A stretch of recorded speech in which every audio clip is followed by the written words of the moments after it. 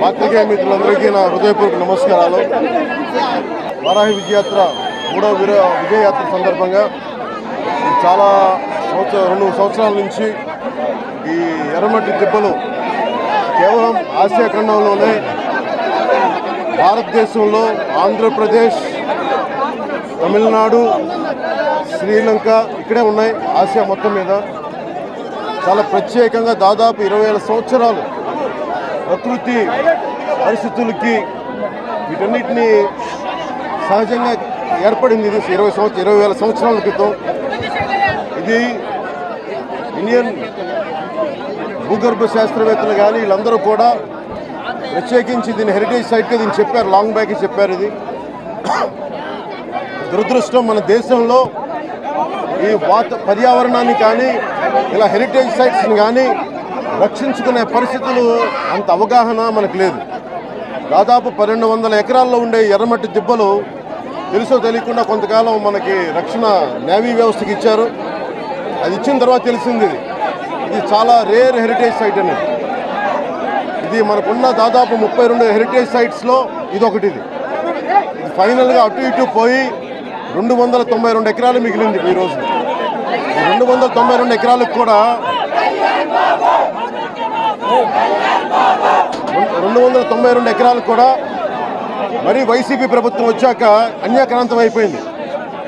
అటు అటువైపున్న కొండ చూస్తేనేమో అది ఎవరో ఒక ఆశీర్వానికి ఇచ్చారని చెప్తా ఉన్నారు. ఇటువైపు ఏమో లేఅవుట్లు ఇచ్చేశారు. ఇలాంటి హెరిటేజ్ సైట్కి ఉన్న మిగిలిపోయిన రెండు వందల తొంభై రెండు ఎకరాలకు కూడా పర్యావరణ పరిరక్షకులు కానీ ప్రేమికులు కానీ ఇది మన జాతీయ సంపద ప్రభుత్వాన్ని రక్షించాల్సిన పరిస్థితి దీన్ని రక్షించాల్సిన కర్తవ్యం వాళ్ళకు ఉంది టూరిజం మంత్రులు సమక్షంలో ఇవన్నీ దారుణాలు జరిగినాయి. ఎందుకంటే బఫర్ జోన్ ఉండాలి. ఇది మూడు రెండు వందల తొంభై రెండు ఎకరాల్లో ఈ ఎర్రమట్టి దిబ్బలు ఉన్నాయంటే దాని తర్వాత ఉండే కనీసం ఒక ముప్పై ముప్పై ఎకరాల చుట్టుపక్కల దాన్ని బఫర్ జోన్గా పెడతారు. కనీసం వంద అడుగులు కూడా పెట్టలేదు. దీన్ని అడుగుతున్న అందరి మా డిమాండ్ అందరి డిమాండ్ కూడా ఏంటంటే చుట్టుపక్కల రెండు వందల తొంభై రెండు ఎకరాలకి బఫర్ జోన్తో పాటు కంచె వేయాలి దీనికి. ఇది బావి తరాలకి దీన్ని రక్షించాలి. ఇలా రక్షించకపోతే మటుకు ఇది ఇది మేము వైసీపీ ప్రభుత్వం దీన్ని కనుక చర్యలు తీసుకోకపోతే వచ్చే నలభై ఎనిమిది గంటల లోపల దీన్ని ఏ విధంగా దీన్ని ఎలాంటి కసరత్తు చేయబోతున్నారు ఎలా పరిరక్షించకపోతున్నారు కానీ ప్రభుత్వం దీన్ని స్పందించిన పక్షంలో దీన్ని గ్రీన్ ట్రిబ్యునల్ దాకా తీసుకెళ్తాం దీన్ని పర్యావరణ ఖచ్చితంగా కేంద్ర పర్యావరణ శాఖ తీసుకెళ్తాం దీన్ని. ఇది మా అందరికీ మీడియా వారికి కూడా నేను కోరుకుంటుంది. ఇది మన జాతి సంపద ఇది. మట్టి కనిపిస్తే దాంట్లో డబ్బులు కనిపిస్తున్నాయి తప్ప భావితరాలకు ఉంచానం లేదు. ఇలాంటిదే శిలా సంపద అరుదైన శిలా సంపద. తెలంగాణలో అరుదైన శిలా సంపద శిలాకృతుల్ని ఇలాగే విధ్వంసం చేశారు. కనీసం వంద ఎకరాలు కూడా ఉంచుకోలేకపోయారు వంద ఎకరాలు కూడా ఉంచుకోలేకపోయాయి రోజున. అలాగే ఈ రోజున ఉత్తరాంధ్ర మీద గతంలో ఈ వైసీపీ వర్గం అంతా కూర్చొని తెలంగాణను దోపిడీ చేశారు. అలాగే మన కర్నూలులో కూడా బే చాలా యునెస్కో హెరిటేజ్ సైట్ ఉంది రాక్స్ అది. రాళ్ళపాడు ఎయిర్పోర్ట్ బయటికి రాగానే రాళ్ళపాడు ఏరియాలో ఉంటుంది అది.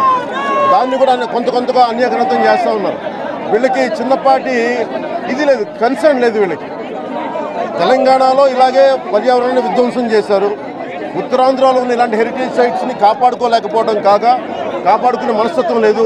కనిపిస్తే దీంట్లో రియల్ ఎస్టేట్ వెంచర్లు లేఅవుట్లు వేద్దామని చెప్పి ఓ సమస్య ఏముంది అక్కడ రియల్ ఎస్టేట్ లేఅవుట్లు వేస్తే అక్కడ మనకి ఈ తవ్వుతా ఉంటే మనకి ఫౌండేషన్ కోసం ఇక్కడ ఎర్రమట్టి దిబ్బలు పడిపోతుంది చాలా సున్నితమైనవి చాలా చాలా సున్నితమైనవి.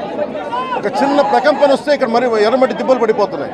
ఈ ఉన్న రెండు వందల ఎనభై రెండు ఎకరాలను రక్షించుకోవాలన్నదే ఇది ఆంధ్రప్రదేశ్ భారతదేశపు ఉమ్మడి ఆస్తిది ప్రజల ఆస్తిది. దీనిని ప్రభుత్వం చాలా జాగ్రత్తగా కాపాడుకోవాలి చర్యలు తీసుకోవాలని మేము కోరుకుంటాం. అలాగే కలెక్టరేట్ కూడా దీని మీద దృష్టి పెట్టాలి. ప్రైవేట్ ఆస్తులకి గవర్నమెంట్కి ఏం సంబంధం? తవ్వి తవ్వి తీయడానికి మట్టి తవ్వడానికి ప్రభుత్వ రంగ సంస్థ ప్రయోజనం పర్పస్ ఏంటి? పిఎంఆర్డిఏ వాళ్ళకేంటి అవసరం? అండ్ ఇవన్నీ ఎక్కడ పడితే అక్కడ కూర్చోబెట్టి ప్రభుత్వ ఆస్తులను ప్రైవేట్ ఆస్తులుగా పరిగణిస్తూ ఉన్నారు. ఈ దోపిడీ ఆగాలి ఉత్తరాంధ్ర దోపిడీ ఆగాలి ఉత్తరాంధ్ర విధ్వంసం ఆగాలి అది నేను కోరుకుంటున్నాను.